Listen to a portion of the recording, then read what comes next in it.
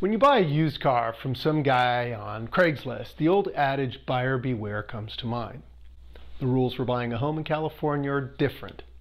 Sellers are required by law to tell buyers certain things about the property for sale. These are known as property disclosures. Some disclosures are routine, like the potential for lead-based paint in buildings constructed before 1978, and these come in a pre-printed booklet. For others, we use a form called the Real Estate Transfer Disclosure Statement that the seller completes. Hi, my name is Jason Allen Rouman, and I'm a real estate agent in Palm Springs, California. Listen, I've seen sellers get panicky when I tell them they have to disclose information about their home. But I remind them of two things. First, the real estate transfer disclosure statement is very specific and focuses on things like what's included in the sale and then other facts that only the seller would know about the property.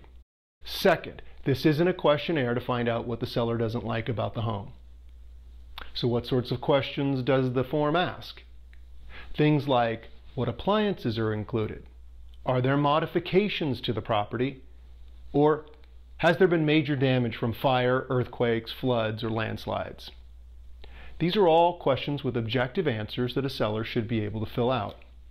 And from my 10 years of experience, this information helps buyers make deals that stick. Think about it. Almost all buyers get a property inspection once their offer is accepted.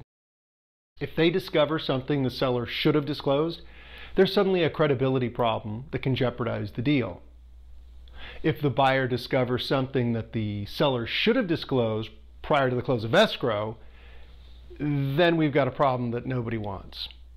If you're at all confused about the California Real Estate Transfer Disclosure Statement, be sure to ask your agent before you start to fill it out. If you don't have an agent, shoot me a message. I'll do my best to help you or give you a referral.